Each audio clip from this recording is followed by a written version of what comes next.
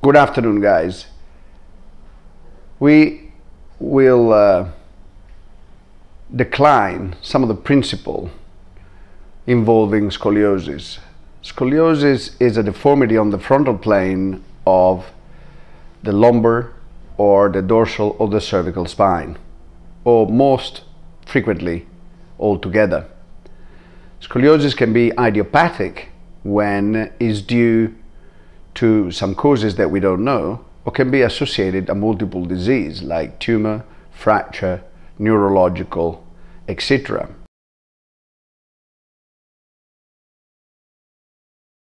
Treatment of scoliosis has been changed in the last 15 years.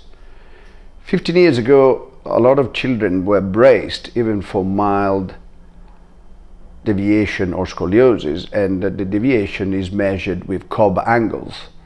Cobb angles under 25 were supposed to be treated only with physiotherapy. From 25 to 35, 40 were treated with brace and over 40, 45 degrees of that angle. Scoliosis should be treated with surgery.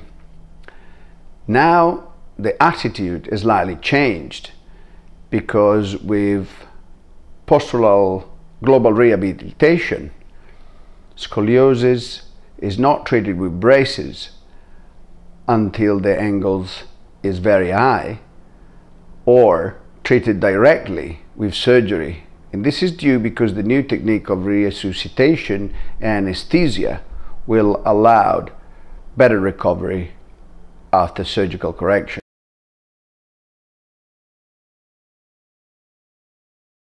Normally scoliosis doesn't have any symptoms unless it's associated to fractures, tumors, vertebral malformations or neurological diseases.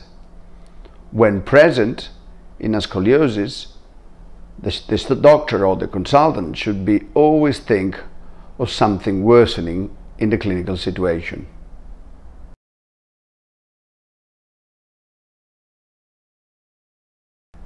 A lot of uh, exercises has been described, especially to strengthen the paravertebral muscles and to teach the subject proprioceptively to still straighter and straighten the curve of the deformity. I'm always available for any question, any doubt, or any problem you may have because I understand as a father that every minimal problem with your kid can become a major disaster in your mind. And it's better to have a straightaway answer and clarification so you can relax for something that is normally not important. I'll be happy to answer you on the YouTube channel anytime you write.